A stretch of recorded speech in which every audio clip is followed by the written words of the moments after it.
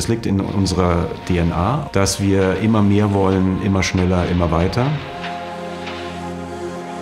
Für mich ist der wesentliche Faktor, dass wir jetzt gerade in einer Zeit leben und das wird auch in den nächsten Jahren so bleiben, wo sich die Kerntechnologien exponentiell entwickeln. Und das macht es gerade unberechenbar, vor allem für Großkonzerne.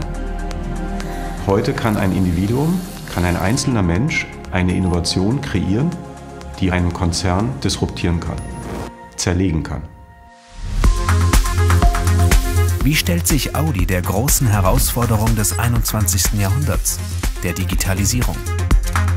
Mittels Vorsprung durch Technik im Fahrzeug und in der Produktion. Audi lebt eine richtungsweisende Innovationskultur. Der Mitarbeiter ist dabei entscheidender Erfolgsfaktor. Schritt für Schritt erschafft er die Smart Factory, die intelligente, vernetzte Fabrik.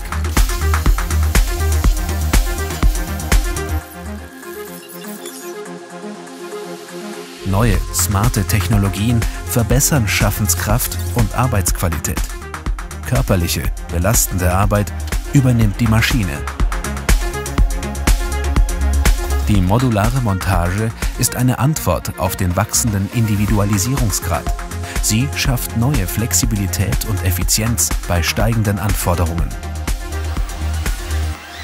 In der Smart Factory fließen die Informationen im Data Lake zusammen. Algorithmen setzen die Daten dort in neue Zusammenhänge und optimieren bis ins kleinste Detail.